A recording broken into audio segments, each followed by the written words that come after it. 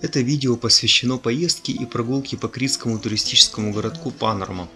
Добирались мы на электрокаре из отеля Royal Blue Resort через территорию отеля Iberostar Creta Marine а стоимостью по 10 евро с человека.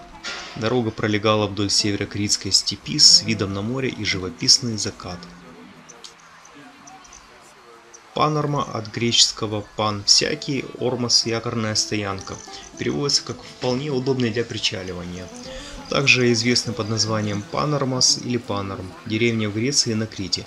Она расположена в 22 километрах восточнее Ратимнона и 55 километрах западнее Ираклиона, на берегу Критского моря. Входит в общину Милопотамос в периферийной единице Ретимни в периферии Крит.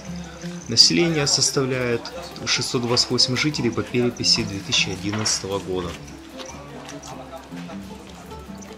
Первые упоминания о поселении на месте современного Панорма дает Птоломей в своей географии, где это поселение под названием Пантоматриум фигурирует как морской порт древнего города Элефтерна. Достоверно известно, что на месте Панорма в 5-6 веках было крупное поселение и центр христианской культуры. В 1206 году генуэзский пират Энрико Пескаторе наряду с еще несколькими городами на побережье Крита захватил и территорию нынешнего Панорма, где построил крепость, остатки которой до сих пор можно видеть на побережье. Однако в 1212 году генуэзцы были вынуждены передать Крит венецианцам, которые, собственно, в 1204 году и купили Крит после распада Византийской империи. Венецианцы по наличию крепости Кастелло ди Милопотамо назвали поселение Кастелло.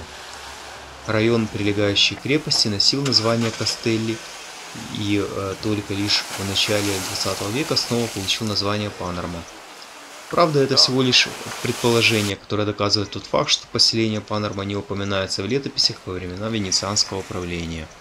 Венецианцы постоянно вели войны с турками за этот остров, и в 1583 году Хайредин Барбаросса и его пираты сумели уничтожить крепость.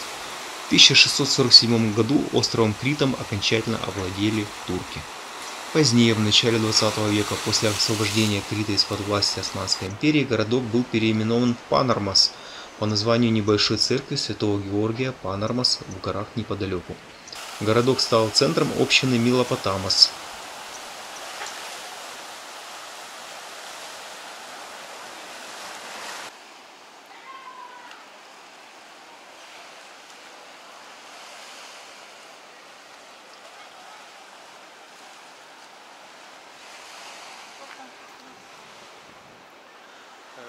Интересная церковь с пальмами.